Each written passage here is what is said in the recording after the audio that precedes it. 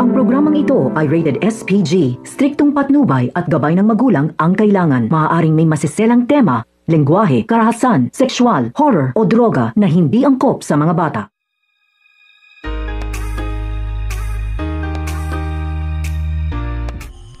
Hi guys! Welcome back again to my channel at ngayon guys, magbibigay po ako ng episode highlights kung anong ating aabangan mamaya sa Prima Donas. So ayun na nga guys, pinahiya nga ni Kendra itong si Lilian sa maraming tao at nabayad pa ito para nga bugbugin itong si Lilian. Kaya naman, bugbog sarado talaga itong si Lilian guys. So nang mahimatay itong si Lilian ay nasalo ito ni Jaime. Kawawa talaga itong si Lilian. At mabuti na lang mga kaibigan, nahanap ito ni Jaime at dinala nga ni Jaime itong si Lilian sa mansyon.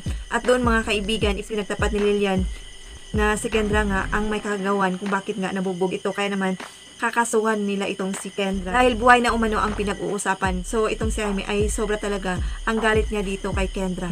Samantala naman itong si Lady Prim, samantala, samantala naman itong si Lady Prima guys ay gusto niya talagang ah, paalisin itong si Lilian at may doon sa mansyon. So, bali itong si Jaime ay pinigilan ito. At, at ito namang si Ella at Linlin ay humingi nga ng sorry dito kay Lady Prima para nga dito kay Lilian at kinamayi.